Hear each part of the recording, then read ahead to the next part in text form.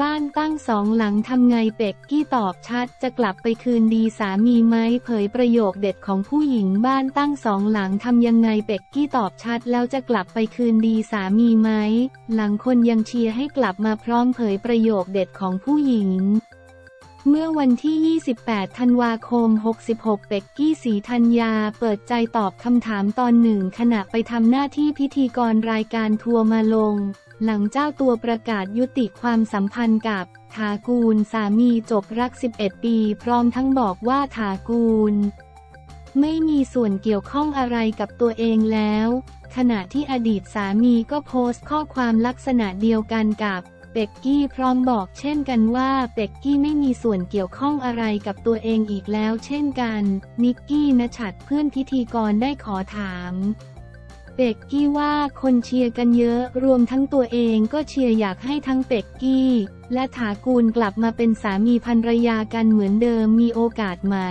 ซึ่งเป็กกี้ได้ตอบสั้นๆว่าคิดว่าไม่น่าจะมีโอกาสแล้ว นิกกี้ ไม่มีเลยเหรอ ไม่มีเลยเป็นศูนย์นิกกี้ ถามอีกว่าอยากรู้ทำไมผู้หญิงเขาแน่วแน่จังเลย ผมถามแทนผู้ชายนิดหนึ่งผู้หญิงเวลาเขาจะไปทำไมเขาแน่วแน่ ผมถามมุมผู้ชายเวลาจะไปไม่แน่วแน่เหมือนไพ่หญิงพศอานนท์ ช่วยบอกว่าผู้ชายจะสองจิตสองใจคิดว่าผู้หญิงรักอยู่เวลาไปทำอะไรผิดจะไม่ค่อยนึกถึงหัวอกผู้หญิง พอทำไปแล้วเพิ่งมานึกได้ผู้หญิงเขาเด็ดเดี่ยวเลิกแล้วเลิกเลยนิกกี้ถามอีกแสดงว่ามันแรงเหรอพี่ก่อนเป็กกี้จะกล่าวว่าบอกผู้หญิงส่วนใหญ่ทั่วไปนะ พอเขาคิดว่ามันไปด้วยกันไม่ได้แล้ว เขาถึงได้พูดเขาถึงออกมาว่าเขาไม่โอเคในเมื่อเขาตัดสินใจแล้ว เขาจะไม่ย้อนกลับคืนไปแล้ว พี่เองก็เป็นหนึ่งในนั้นนิกกี้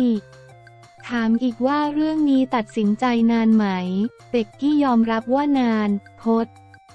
ผู้หญิงเขาจะทนจนถึงที่สุด อืมบ้านก็อยู่ตั้งสองหลังทำยังไงเป็กกี้ตอบติดตลกว่าปล่อยให้วัชพืชกินไปนิกกี้ถามอีกแล้วคิดถึงเขาไหมเป็กกี้ตอบว่ามันสักระยะหนึ่งแล้วผ่านมาสักระยะแล้วก็มีงานทำใครกลัวเป็กเหงาเศร้าฝากจ้างงานเป็กด้วยก่อนพดจะแซวเป็กกี้ไม่คืนดีแล้วนิกกี้ทางโน้นก้อยอรัชพร คืนดีไหมนิกกี้ตอบว่าผมไม่รู้ เป็ก แต่เราอยากคืนดีกับเขาแล้ว เขาอยากคืนดีกับเราไหม ผมไม่รู้เป็กกี้สอนด้วยว่าเป็นบทเรียนอย่างหนึ่งเวลาคบกันไปแล้ว อย่าคิดว่าหันมาเมื่อไหร่ก็เจอโพสต์อย่าคิดว่าเขาเป็นของตาย ถูกต้องยกตัวอย่างคนอื่นนะ เวลาจะทำอะไรอย่าคิดว่าผู้หญิงทุกคนจะให้อภัยได้เหมือนเดิม นิกกี้ แต่เรื่องพี่ก็ไม่บอกว่าเลิกกันเพราะอะไร เป็กกี้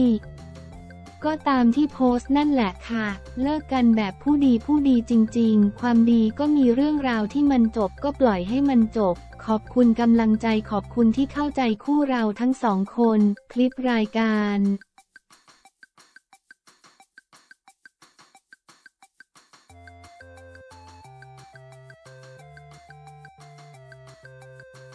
ช็อกเลิกอีกคู่เป็กกี้ประกาศยุติความสัมพันธ์สามีจากนี้ไม่เกี่ยวข้องกันอีกปิดฉากรักต่างวัย 11 ปี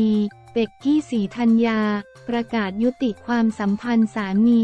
ถากูลตะพาพงศ์จากนี้ไม่เกี่ยวข้องกันอีกหลังแต่งงานกันไปเมื่อปลายปีที่แล้ว ไม่ต้องสืบหาอีกต่อไปว่าคู่รักคู่ไหนเตียงหักก่อนสิ้นปี เพราะล่าสุดนักร้องพิธีกร เป็กกี้สีธัญญา ออกมาประกาศผ่านอินสตาแกรมตัวเองชัดๆว่าได้จบความสัมพันธ์กับถากูลตะพาพงศ์สามีอายุห่างกัน 13 ปีที่คบกันมานานถึง 11 ปีเรียบร้อยแล้ว อย่างไรก็ดีทั้งคู่เพิ่งแต่งงานกันไปเมื่อวันที่ 5 ธันวาคม 65 ที่ผ่านมา ซึ่งทางด้านเป็กกี้ได้มีการโพสต์แจ้งรายละเอียดไว้ว่า เป็กกี้ ขออนุญาตใช้พื้นที่ตรงนี้เพื่อแจ้งข่าวนะคะ เป็กกี้และคุณถากูลเราได้ตกลงตัดสินใจจบความสัมพันธ์กันมาสักระยะหนึ่งแล้ว ทั้งนี้เราทั้งคู่ขออนุญาตไม่ให้สัมภาษณ์สื่อใด ๆ นะคะ กราบขออภัยไว้ณตรงนี้ด้วยค่ะ ขอบคุณทุกท่านที่เข้าใจและให้กำลังใจมากค่ะ ถ้าทุกคนกลัวเป็กเหงารบกวนจ้างงานได้ที่เบอร์ 0805554666 คุณออยพจก เบอร์เดิมลายเดิมนะคะ ติดต่อง่าย เครื่องหมายสี่เหลี่ยมคุณถากูลไม่มีส่วนเกี่ยวข้องใด ๆ กับเป็กและงานเป็กอีกต่อไปค่ะ จึงเรียนมาเพื่อทราบขอบคุณค่ะ ท่ามกลางเพื่อนพ้องคนวงการบันเทิงและแฟนๆ เข้าไปส่งกำลังใจให้แบบรัวๆ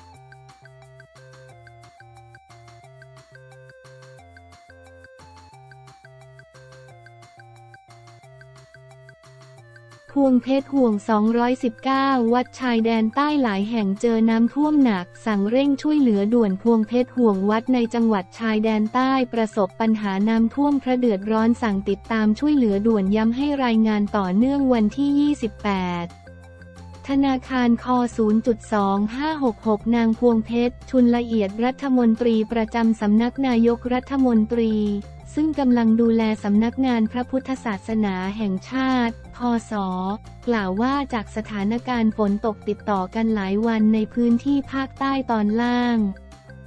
ส่งผลให้น้ำท่วมสูงหลายพื้นที่โดยเฉพาะจอ นราธิวาส ยะลา และปัตตานีที่ประสบปัญหาหนักสุดในรอบ 50 ปี จึงเป็นห่วงคณะสงฆ์และวัดวาอารามที่อยู่ในพื้นที่ ได้สั่งการให้สำนักงานพระพุทธศาสนาแห่งชาติ คส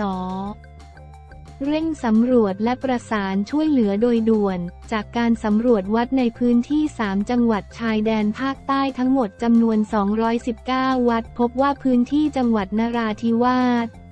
มีจำนวนวัดที่ประสบอุทกภัยมากที่สุดจำนวน 22 วัด จังหวัดยะลาจำนวน 53 วัดและ จังหวัดปัตตานีจำนวน 8 วัดมีจำนวนพระภิกษุและสามเณรผู้ประสบภัยจำนวน 94 รูปและแม่ชีจำนวนสองคน ปัญหาที่ประสบเป็นน้ำท่วมขังและน้ำท่วมสูงบริเวณวัดและเป็นพื้นที่ทางน้ำไหลผ่าน นางพวงเพชรกล่าวว่า สถานการณ์น้ำท่วมในภาคใต้ครั้งนี้ ถือว่ามีความรุนแรงและประชาชนได้รับความเดือดร้อนหลายครัวเรือน เมื่อวันที่ 26 ธันวาคม ที่ผ่านมาท่านนายกรัฐมนตรีได้เดินทางลงพื้นที่ไปติดตามสถานการณ์อย่างใกล้ชิด พร้อมพบไปเยี่ยมเยียนให้กำลังใจผู้ประสบภัย ซึ่งหน่วยงานภาครัฐได้บูรณาการความร่วมมือกันช่วยเหลืออย่างเร่งด่วน ในส่วนของวัดวาอารามและคณะสงฆ์ได้สั่งการให้พศสำรวจความเสียหายเร่งด่วนและประสานความช่วยเหลือไปยังศูนย์อำนวยการบริหารจังหวัดชายแดนภาคใต้ สอบต มูลนิธิอาสาเพื่อนพึ่งพายามยาม สภากาชาติไทย และทางจังหวัดเบื้องต้นทางจังหวัดได้จัดถุงยังชีพนำถวายและให้ความช่วยเหลืออื่นตามที่จำเป็น พร้อมกันนี้ได้กำชับให้พอสอจอ